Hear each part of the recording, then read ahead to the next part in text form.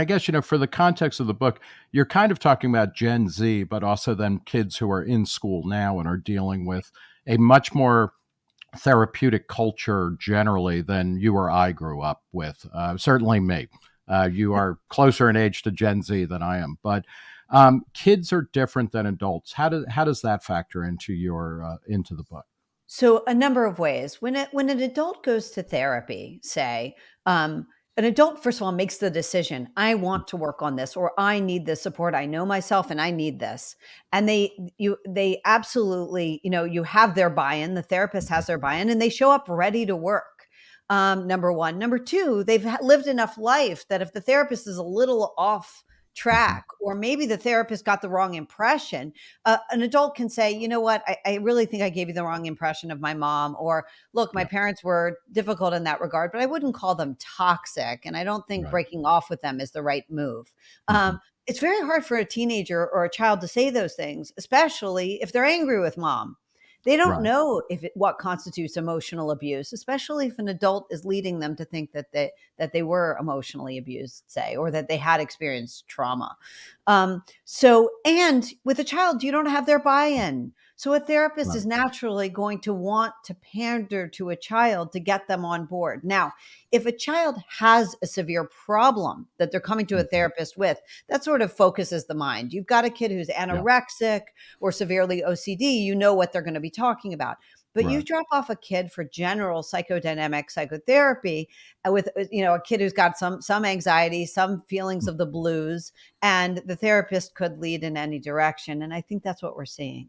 Yeah, can you talk a little bit? What are the numbers and the trends in terms of uh, psychiatric um, uh, diagnoses of kids? You know, from I don't know, you know, from two to twenty or or thereabouts, and also with medication. There was, you know, going back, God, it's like almost twenty years when Adderall and Ritalin really were a topic of discussion for treatment of uh, attention deficit hyperactivity disorder or just attention deficit disorder there was a big discussion of that. That has kind of receded, but what what have you found? How many how many kids are on psycho uh, psycho? I was going to say psychotropic. I'll say psychoactive drugs and in, in active therapy. Yeah, you bring up ADHD. We only stopped talking about ADHD not because it was being diagnosed any less. There's more diagnosis, but because so many young kids are on SSRIs today. You know, the mm. um, antidepressants. I mean, yeah. they just cleared the FDA just cleared Lexapro, which is a very strong antidepressant mm. for seven year olds. So it's not that there are, we you know it's not. In fact, we've been going in one direction, putting kids on more and more and more. Mm uh, you know, so psychotropic drugs, anti-anxiety medications, um, and and uh, speed, various forms of speed, as you mentioned for ADHD. Right. So in 2016, um, one in six kids between the numbers of between the ages of two and eight. This is according to the CDC. One in six kids between the ages of two and eight already had a mental health or behavioral diagnosis. Now, those kids weren't on social media. Okay. Right. They didn't have smartphones, certainly not in 2016. They don't have them today. Um, so we knew that this diagnosis has been exploding. Um, mm-hmm. and also, ha- mental health treatment has gone in one direction. So um, nearly 40% of the rising generation has been to see a therapist already. Right. And um, you know, I'm not the only one to have noticed this. A group of team of researchers did earlier a year ago and called this the treatment prevalence paradox. What they were noticing is that with with treatment of illness, the more you have treat you know the more treatment yeah. there is the more the point prevalence rate of a disorder should go down right we saw this right. with breast cancer treatment and other things the the incidence of death from breast cancer went down with with more pervasive treatment here there's been vast yeah. expansion of treatment and the rates of depression and anxiety have only gone up and and i mean supporters of that trend would say well that's because it's it's an epidemic it's a pandemic of anxiety of depression of isolation of whatever.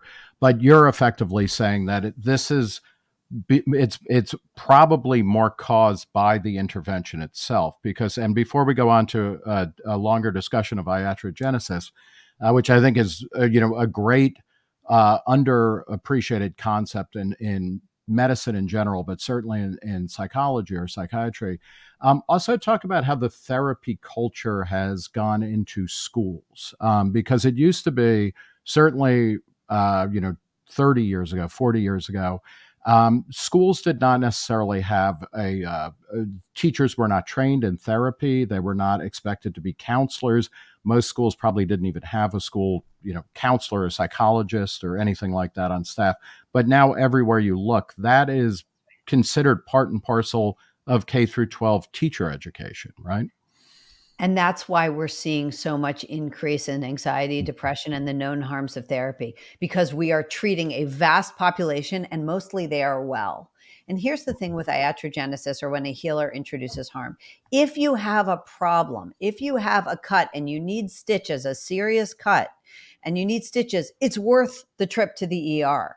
But if you have a minor scratch, then you only stand to be, to face risk, right? You mm-hmm. only mm-hmm. stand because you don't stand to benefit really.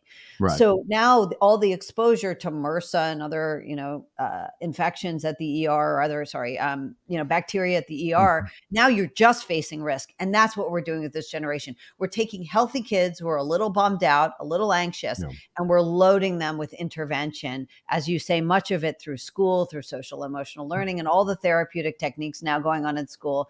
And so all these kids face this risk.